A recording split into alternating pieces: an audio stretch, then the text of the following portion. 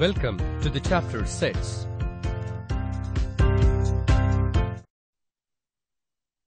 Basic operations on sets.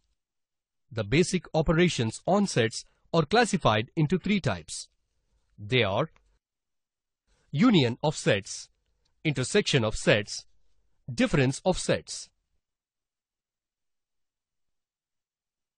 Click each tab to know more. Union of sets. A union of sets operation is carried out on two or more sets and the resultant set involves all the elements of the individual sets. Let A and B be the two sets.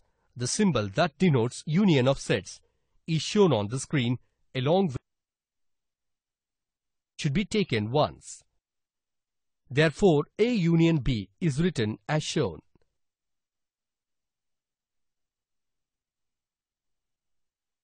Intersection of sets. Suppose A and B are two given sets. The symbol that denotes intersection of sets is shown on the screen.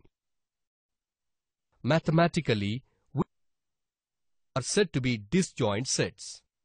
Hence, for two disjoint sets A and B, the number of common elements will be zero.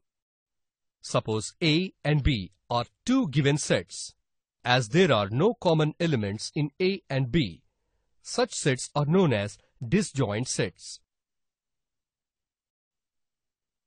Difference of sets. The difference of sets A and B, expressed as A minus B, is the set of those elements that are in the set A but not in the set B. Therefore, A minus B is equal to for all x such that x belongs to A and x not belongs to B. Similarly, the difference of sets B and A expressed as B minus A is the set of those elements that are in the set B but not in the set A. That is, B minus E, F. Then A minus B is equal to AD and B minus A is equal to EF.